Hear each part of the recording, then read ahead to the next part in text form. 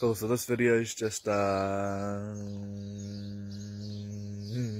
Sunday's just gone, sorry, mind blank, um, which was our last guest speaker.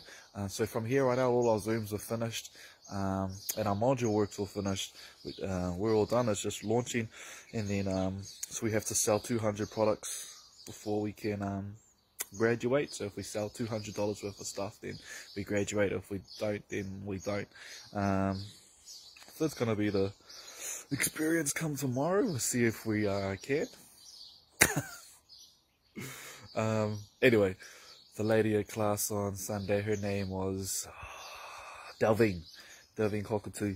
Um, she's from Australia.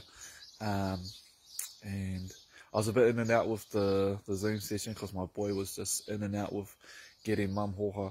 Um, but one thing that really caught my attention, she was talking about how in Australia, um, like it said, what happens sometimes is that people go to um, like their um, kaumātua, their kuia, and they'll go learn some traditional artwork or traditional um, practices, and then they'll come back to wherever they're, where they live, and they'll package it all up, they'll business it, they'll sell it, and then they'll say that it's theirs that they made it without giving any acknowledgement to um, the Kaumātua, the Kuia or the Tupuna um, for all of that ancestral knowledge that was passed down.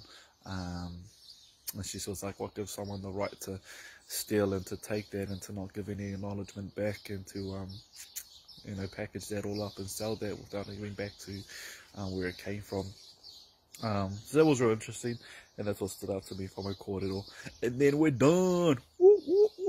Thanks everyone for watching these videos. I don't need to post up anymore. Uh, from here, it's just we ride the wave of Whakahau and we see how me and my son go tomorrow when we launch. Kia ora koutou. Appreciate you.